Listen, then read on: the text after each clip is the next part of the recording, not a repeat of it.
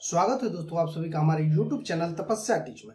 दोस्तों, आज हम बात करेंगे पंजाब नेशनल बैंक के बारे में कि हाल ही में एक अपडेट आया है कि पंजाब नेशनल में अगर आपका अकाउंट है और आप एम पासबुक का यूज़ करते होंगे तो अब फाइनली पूर्ण रूप से एम पासबुक को बंद कर दिया गया है। यानी कि एक नवंबर से एम पासबुक का यूज़ आप नहीं कर सकते हैं।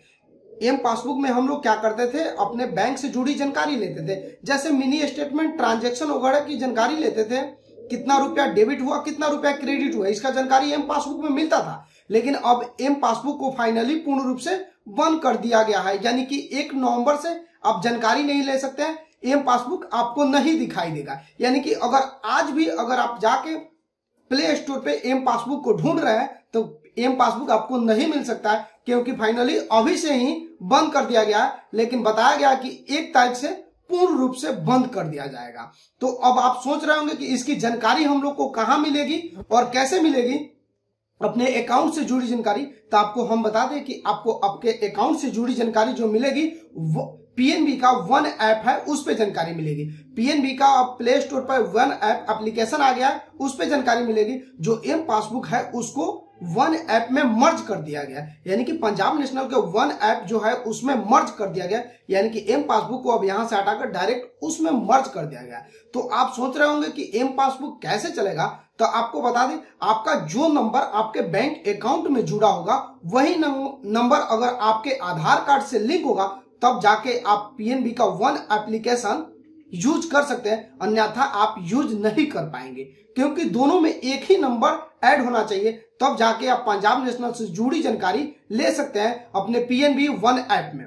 आपको बता दें एम पासबुक बहुत इजी था। उसमें क्या होता था कि अपना मोबाइल नंबर को इंटर कीजिए और अपने अकाउंट से कस्टमर नंबर को ऐड कीजिए और आसानी से एम पिन बना लेते थे हम लोग, चार डिजिट छह डिजिट का, और यूज़ करने लगते थे। लेकिन अब नहीं होगा।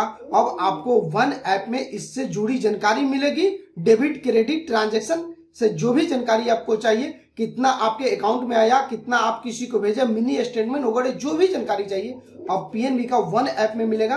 तो फाइनली पूर्ण रूप से पीएनबी का एम पासबुक को बंद कर दिया गया है। यानी कि एक नवंबर से इसको पूर्ण रूप से मर्ज कर दिया जाएगा पीएनबी के वन एप्लीकेशन से। दोस्तों, बहुत सारे लोग सोच रहे होंगे, अब कैसा होगा? बहुत सारे लोग ऐसे होंगे जो पीएनबी का एम पासबुक आसानी से यूज़ कर लेते होंगे। लेकिन पीएनबी का वन एप्लीकेशन जो है, वो इतना आसान नहीं है जितना आप सोच रहे हैं। उसके लिए आपके अकाउंट में वही नंबर ऐड होना चाहिए जो आपके आधार कार्ड में ऐड होगा। तभी जाके पीएनबी वन एप्लीकेशन में आप रजिस्टर करके आप अपने अकाउंट से जुड़ी जानकारी ले पाएँगे। दोस्तों, मैं उम्मीद करता हूँ मेरी दी गई जानकारी आप लोग को अच्छी लगी है। अगर अच्छी लगी है तो वीडियो को लाइक करके हमारे चैनल को सब्सक्राइब कर दीजिएगा, ताकि बैंकिंग से जुड़ी संपूर्ण जानकारी आपको हमेशा ही मिलती रहे। धन्यवाद।